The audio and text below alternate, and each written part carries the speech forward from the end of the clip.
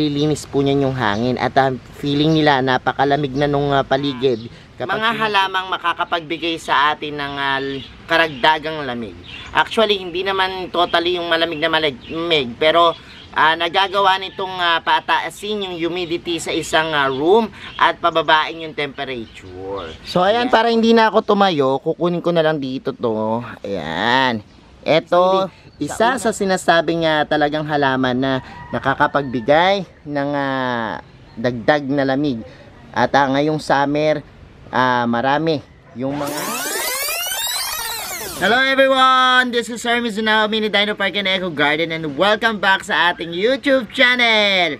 And in today's video mga ka-MDP, well, ah, may nagtanong na naman sa akin. Ngayon daw mapapalapit na ang summer, ano daw kayang mga halaman yung pwedeng pwede na makapagpalamig ng ating paligid o ating ah, bahay? So, parang sinasabi nyo na parang ah, nagtatanong kayo kung ano yung cooling plants or humidifying plants. Yung mga halaman na nagdadagdag ng ah, lamig sa kapaligiran. Ayan, iniisip ko yan mabuti and siguro magbibigay ako ng ah, ilan sa mga listahan natin. Kaya kung ready na kayo mga ka-MDP, tutok lang po.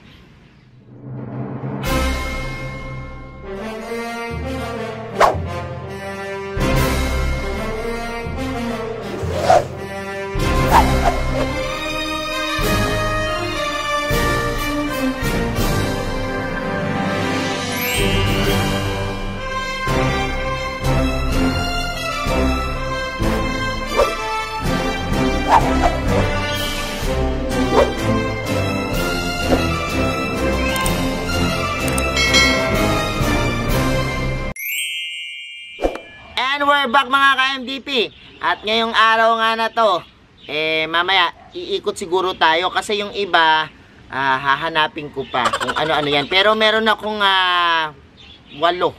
Walo na nasa listahan ng ah, mga halamang makakapagbigay sa atin ng ah, karagdagang lamig.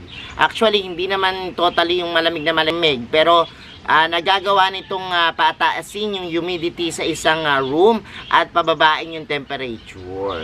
Yan, according sa ating mga research and ah, sa ating panonood na rin minsan ng iba't ibang mga vlogs, pati na rin yung ating ah, pagbabasa ng iba't ibang articles, well, ah, makukonsider ang mga halaman na ito na pwedeng pwede nyo pong alagaan sa inyong bahay, sa inyong garden at ah, madadagdagan nito yung ah, lamig ng ah, paligid. Kasi nga ah, ngayon papuntang summer na, 'di ba? Nako, grabe. Medyo mainit po at ah, talaga namang problema tayo sa ating bahay. Minsan ah, hindi natin makayanan yung sobrang init ano. Pero alam nyo ba na ang mga halaman talaga ay nakakapagbigay ah, ah, lamig sa ating paligid. Kaya nga itong mga halaman na to, ah, marami sa atin na kapag summer, eh pinapasok yung iba't iba nilang halaman doon sa kanilang ah, loob ng bahay para makatulong somehow na mapanitiling ah, refreshing.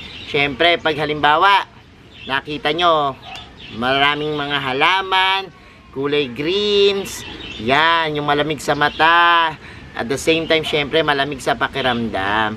Ngayon, merong mga halaman na talagang ah, matindi yung pagbibigay sa atin ng ah, humidity at ah, nililinis yung hangin. Ah, mula doon sa mga toxic hangin, pinupurify nila. Kaya naman tingnan na natin yung mga halaman na yan. Iikutin natin yung ah, garden natin. Tapos meron akong ilan dito na naihanda. Kaya naman na samahan nyo ko. So ayan, para hindi na ako tumayo, kukunin ko na lang dito to. Ayan. Ito, sa una nating list, itong ating uh, tinatawag na jade plant. Ito ay uri ng succulents na talaga ng mga paboritong paborito ng masa. Kasi, pero yung iba sabi nila tricky daw alagaan eh. Kasi nga yung iba parang hindi makabuhay.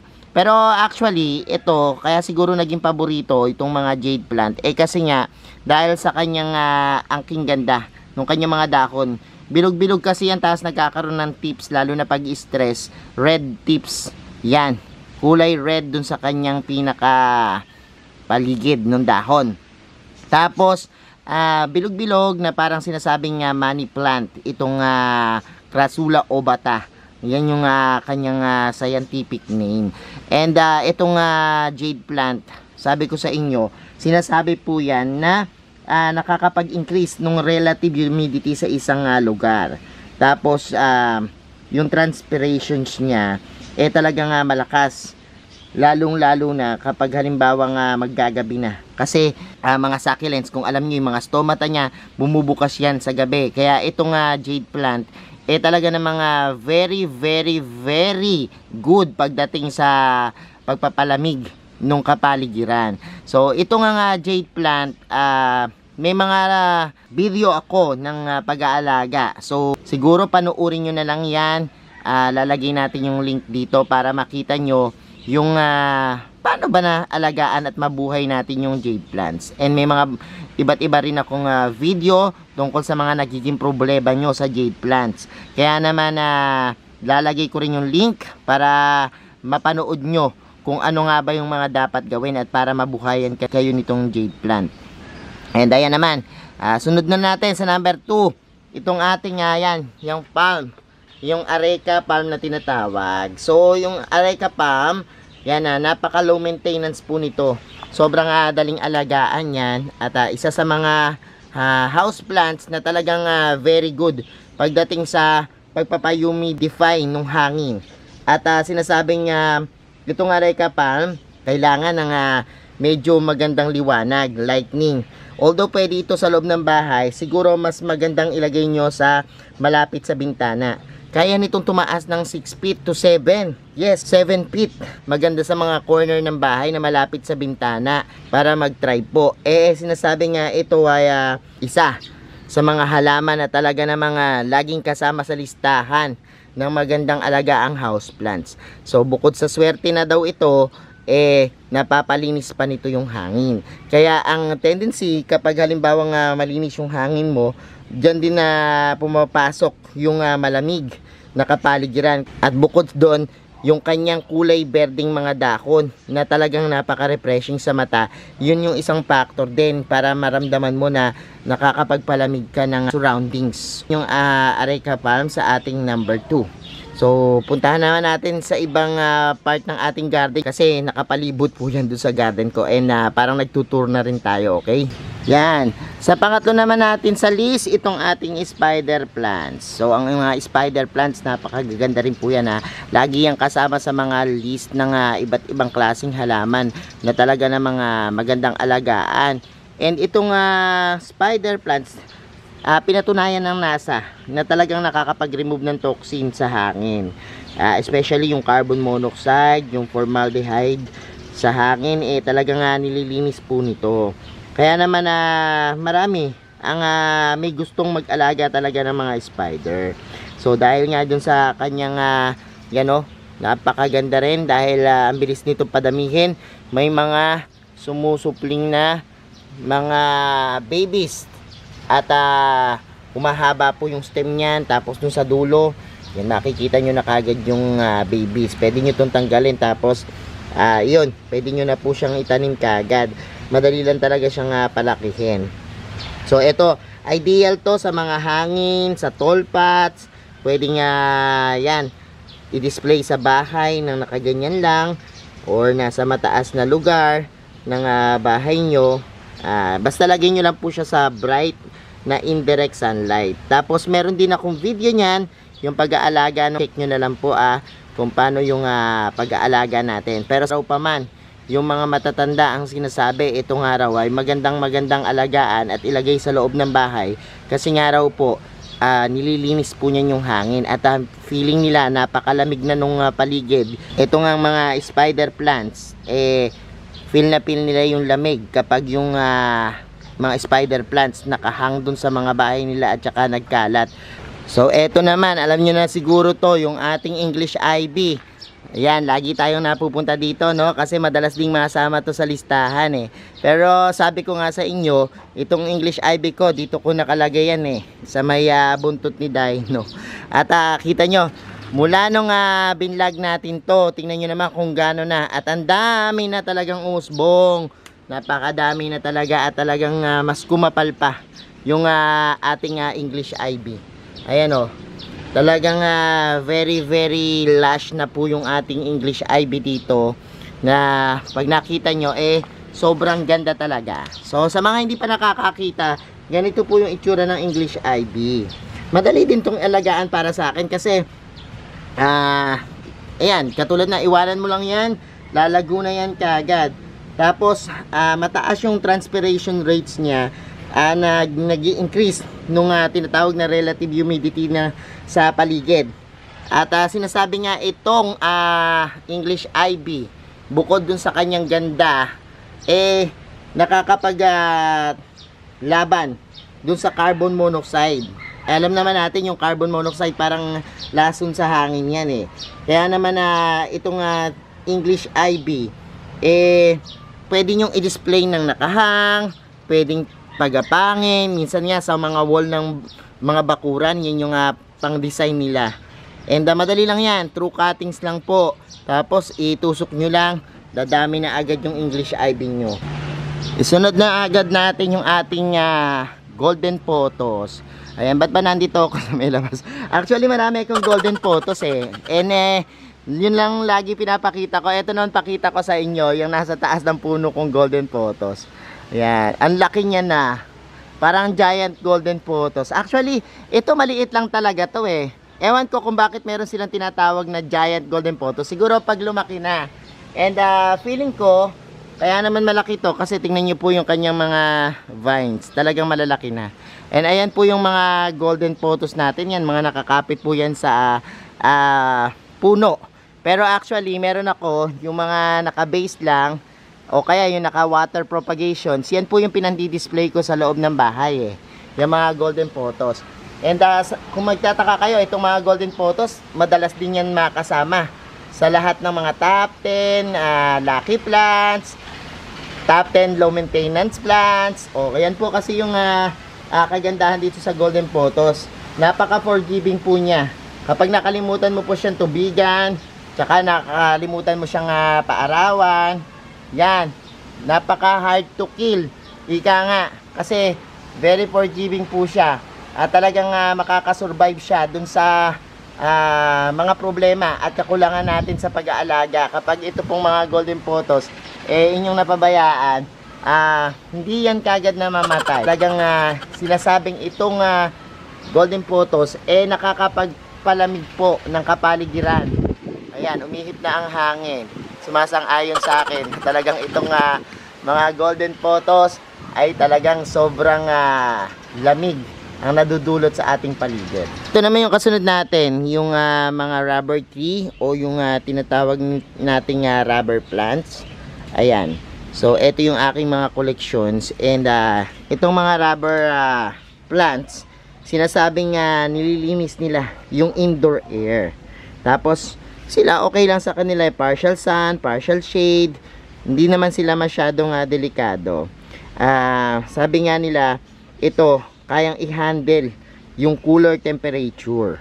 Yan, tsaka yung ah, dry soil, kayang-kaya po nito. Kaya naman eh, ito, maganda rin po na alagaan sa loob ng bahay kasi nililinis talaga nito yung hangin, tsaka ginagawang malamig yung paligid. Dahil nga doon sa kanyang ah, kagandahang taglay, eh marami rin pong ah, naaakit na gawin itong talagang isa sa mga ah, magandang ipang design dun sa loob ng inyong mga bahay. Sinasabi rin na pampaswerte itong halaman kasi tingnan nyo naman yung hugis, basta ganyang mga hugis sa mga money plants. Kaya yung iba ah, bukod doon sa pag ah, paniniwala na ito ay ah, pampaswerte. Ito rin po ay nakakapagbigay ng ah, magandang humidity sa ating mga rooms, sa office, sa yan sa mga salas. Yan po itong ah, money plant na tinatawag nating rubber tree eh talagang ah, ideal para po alagaan. So ayan po yung sa atin pang-anim itong ating ah, rubber plants. Tapos sunod na natin diyan. Total nandito na tayo itong ating ah, mga fern. Ayan. So, ang mga fern din po, ayan, meron ako ditong variegated na fern. Kita nyo naman oh, kung gaano kaganda yan. And yan, mga nakahang po yun sa akin. So, ang mga fern naman po, ah merong niyang air ah purifying properties na tinatawag. o ah, properties na naglilinis po nung ah, hangin sa loob ng bahay. Tapos, nagdadagdag po ito ng moisture at uh, nire-remove din po yung mga toxins sa mga indoor air natin. Kaya, ah, ito po, dapat occasionally yung misting nyo. Kasi, once na hindi po occasional yung misting nyo, ayan o, meron akong mga ilan na natuyo doon. Pero, yan, dapat talagang occasional yung misting nyo. Kung halimbawa wala kayong ah, ah, misting system, pwede po kung kayong gumamit ng misting spray. At sprayan nyo po ng occasionally itong ating mga fern para mapanatili nyo po yung kagandahan nila. So, ayun yung ating ah, fern na nakapagbibigay sa atin. Pwede rin po to sa loob ng bahay ha. Maganda rin po ito na ipang display. Ah, make sure lang na kapag ah, once in a while, eh, mabigyan sila ng ah, bright na araw. No? Para okay na okay sila. So, ayan po yung ating ah, pampito, yung ating ah, fern na isa sa mga halamang nakakapagdagdag ng ah, lamig sa ating mga garden at sa ating ah, tahanan. Ayan, sa huling spot naman natin, ito, ito yung pangwalo natin na halaman na nakakapagdagdag ng humidity o nakakapagpalamig ng paligid natin. Ito nga peace lily. O, di ba? Ilang beses ko na po yung natakal sa inyo yung uh, peace lily natin. Kasi yung peace lily po, ah, sinasabi na isang tropical evergreens na talagang yung ah, mga warm na lugar eh nadadagdagan po ng lamig. Kapag yung ah, room nyo eh merong ganito po na peace lily. Actually ito variegated to eh. Yan peace lily na yan. Pero may green din na peace lily ha. Parang ang dami na nga rin lumabas na variety ngayon ng peace lily eh. Kasi meron pang dwarf eh. Di ba may dwarf pa dito na peace lily? Parang eto oh, ayan oh. Yan, dwarf po siya. Maliit siya pero variegated. Yan, mas maliit yung dahon niya. Kunin siguro natin to para makita natin, no? Ayan po. Medyo mas maliit siya dun sa ah mas malaking peace lily. Pero yan, makikita nyo naman po, ganito kaliit yung mga bulaklak niya. So, iba't iba na yung lumalabas, no? Anyways, ang ganda po ng mga bulaklak niya. Ayan po, bukod sa puting-puti yung kanyang mga bulaklak, eh yung kanyang berding kulay na dahon, yan din po yung nakakapagdagdag dun sa lamig ng paligid natin. And sabi nga po, itong ah, peace lily, kino-convert niya yung mainit na hangin palamig. So kapag halimbawa eh, nag-absorb to ng ah, hangin na mainit, kapag nilabas niya na po yan at binuga, malamig na daw po. So ganyan daw po yung proseso nitong peace lily. Kaya itong peace lily, isa sa sinasabing nga talagang halaman na nakakapagbigay ng ah, dagdag na lamig. At ah, ngayong summer, ah, marami yung mga ah, talagang nilalagay nila itong peace lily sa loob ng bahay. So yan, yung ating ah, panghuling spot, itong ating ah, peace lily na ubod ng ganda. Kaya naman na yan yung mga halaman na nakapagpapalamig ng ating kapaligiran. So ayan mga ka-MVP, napanood nyo na po yung ah, mga halaman na pwedeng pwedeng alagaan nyo yung summer at makakapagdagdag ng ah, lamig sa ating mga rooms, sa bahay, sa office.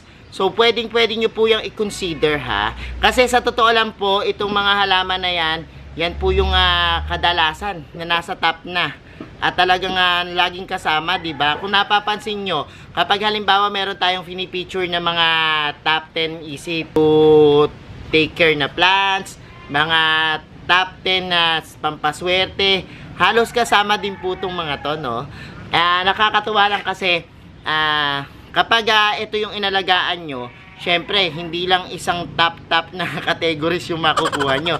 Halos sa kadalasan, marami yan eh. So, kung ako sa inyo, ah, kapag nakita nyo po yan na nasa top, oh, mag-alaga na kayo niya. Kasi isa lang po ang ibig sabihin niya, na itong halaman na to, ah, maraming sakop na mga categories na talagang ah, pasok sila. At isa sila sa mga best house plants na pwedeng pwedeng alagaan at magandang alagaan. So ayan po, ngayon naman, itong categories natin syempre, nagpo-purify ng hangin, nagpapalamig at nagdadagdag ng humidity, nakakapag-refresh ng paligid. So yan po, yan po yung listahan natin, yung top 8 na halaman na talaga namang uh, pwedeng pwedeng yung subukan. Ayan mga ka-MDP, I hope may naibigay ako sa inyong impormasyon ngayon dito sa ating video. And uh, thank you so much sa inyong panonood.